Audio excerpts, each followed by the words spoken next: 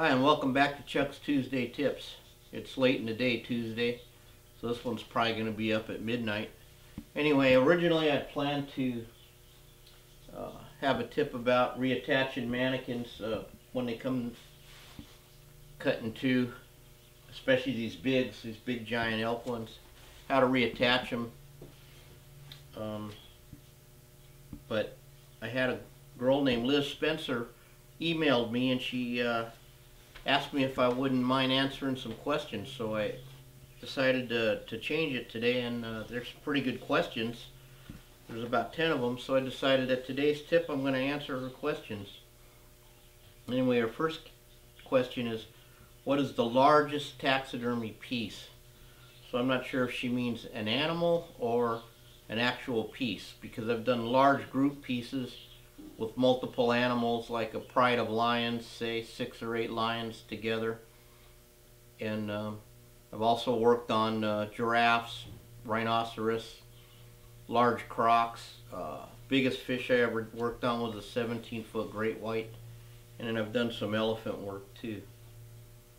And then it says, our next question is, have I ever done uh, an animal with genetic mutations? Well, I, I've never had one come in the shop to start fresh, but I've had to repair some for the Ripley's Believe It or Nots, and they had a, a calf that had two heads and four front legs, and uh, just the two rear legs, and they had a two-headed bull. I had to work on that, so I guess that'd be a yes. And then it, the other question, next one was, have I ever done a piece that's a cross between two animals? We call those novelties. I don't care to do those now, but when I was in the first shop I worked at, he used to do all kinds of stuff like that. So we'd make a catfish. We take the front part of a bobcat and the back part of a fish and put it together. And we made like a chicken duck, things like that. And then she wants to know, and a lot of people want to know, why don't I do pets? Uh, the reason I don't do pets is um, um, there's so much emotion involved with a person's pet. They're almost a member of the family. And uh, I've just had a lot of bad experiences where people have come in to pick them up and they started crying and one lady screamed and ran out because she and, and just it just so much emotion involved with them because while we can bring them and make them look like fluffy it doesn't feel like Fluffy anymore and it doesn't move like Fluffy. And it's just I just don't care to get involved in that. And then sometimes I do break my own rules. I'll do like I did a canary for a lady and she never picked it up. Because a canary a bird I don't really mind doing.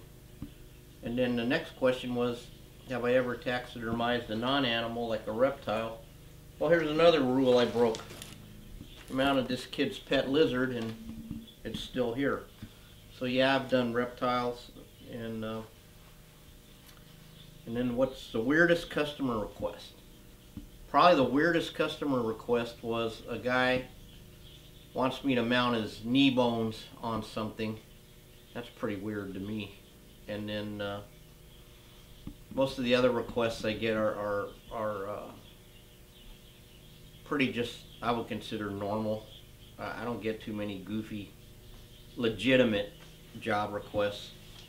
But uh, people, oh no, the real weirdest one, I just remembered this. Guy wanted me to stuff his fingers that he cut them off with the saw, and I wouldn't even go there.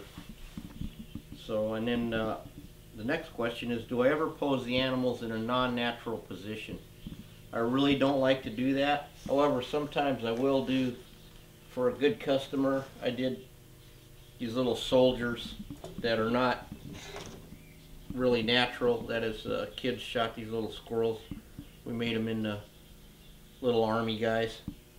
Um, so sometimes I do, but on my big pieces I really like to pose them natural. Then the next question is, how would you color a skin? Well, I assume you mean like to change the color. It says here like to make a pink bobcat. Well, we would dye it. Uh, a friend of mine used to work at uh, a huge shop and they did a lot of movie work and we had to make uh, some horses for uh, dances with wolves that they had all these bendable legs and they had blood inside them, fake blood. So when they got shot, they um, gush out and all that stuff, make it look real. And uh, they needed a black horse, and we could only get like a white horse, so we had to dye it with all these dye kits from the store. It took like forever. And then this, I love this question: Have I ever injured myself on the job? Countless times. I sawed my finger in half. I've sewed my hand down onto a mannequin. I've shot myself through the hand with a nail gun.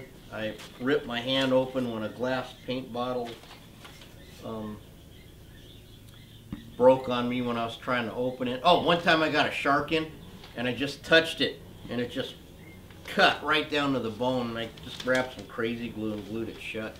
I even still have a hole right here from where I missed with the big pin last week and stuck it in there. So I'm always uh, doing stuff like that. And I'm kind of hard on my help too.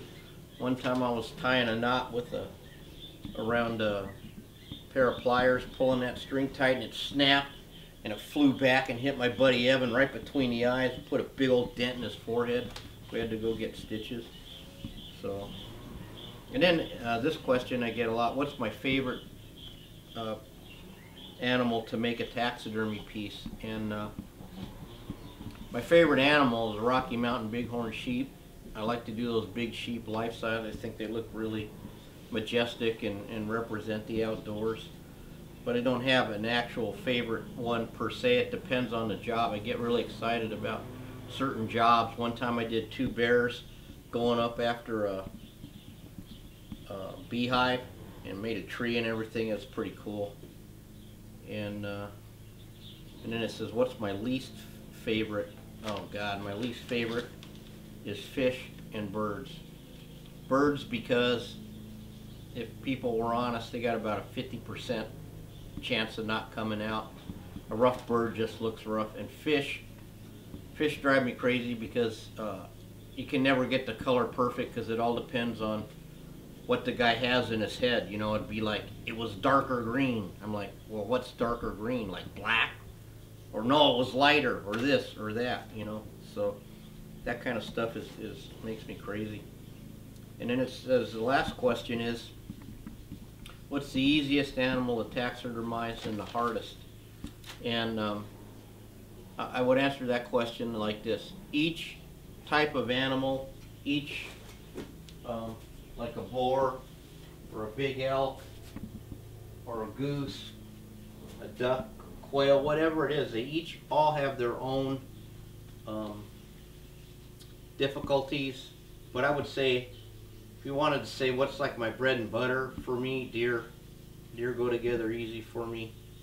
Uh, life-size bears, I, I'm pretty good at life-size. It doesn't frustrate me too much.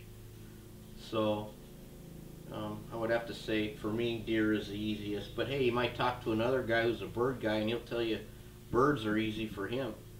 You know, so anyhow.